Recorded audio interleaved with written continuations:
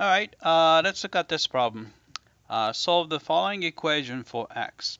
All right, so we have this equation, uh, 3x minus quantity 2x minus 3 equals 2x uh, plus 9.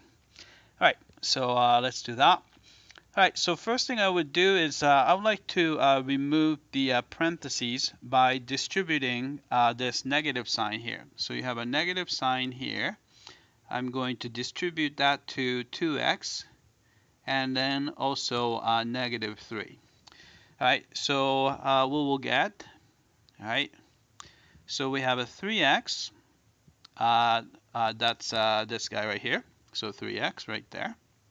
All right, so by distributing the negative sign to 2x, you have a, a negative 2x, all right?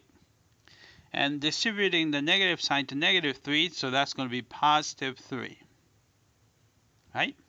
Then this is equal to, uh, right hand side looks okay, so I'm going to leave it for now. So 2x uh, plus 9. Right? Then I'm going to uh, uh go ahead and uh, combine 3x uh, minus 2x together. So uh, 3x minus 2x is going to be 1x, so that I'm going to just put uh, x, right? And then you have uh, a plus 3 here. So I'm going to put plus 3 and equaled. All right, so right hand side still is the same, so I'm going to just uh, keep it the same. All right, so 2x plus 9. All right, uh, since I would like to have x all the x's on the left hand side, so I'm going to uh, uh, move 2x uh, over to the other side, to the left hand side. Uh, we can do that by subtracting 2x. All right, so we have x here, and then you subtract the 2x, right? So it's going to be negative x. And then we still have uh, negative 3, so, uh, well, actually positive 3. So plus 3 here. I'm going to leave it there. All right, so 2x is already moved, uh, so it's going to be just 9 on the right-hand side.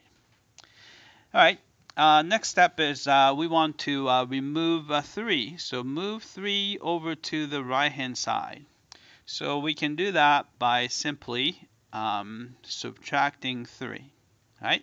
So we have a negative x uh, left over, right? So that's this guy right here. All right, then uh, is equal to, um, you have a 9 already, so we are subtracting 3. So uh, 9 minus 3 is going to give you 6. All right, so one more step. Um, I would like to uh, remove this negative sign here. Uh, we can do that by simply either multiply or divide by negative 1, right? Uh, doesn't make any difference. All right, so a negative sign is gone, so you have x all by itself. All right, 6 divided by negative 1 is obviously negative 6, right? So therefore, uh, x value is negative 6. All right, uh, that's it. I hope that uh, this was clear.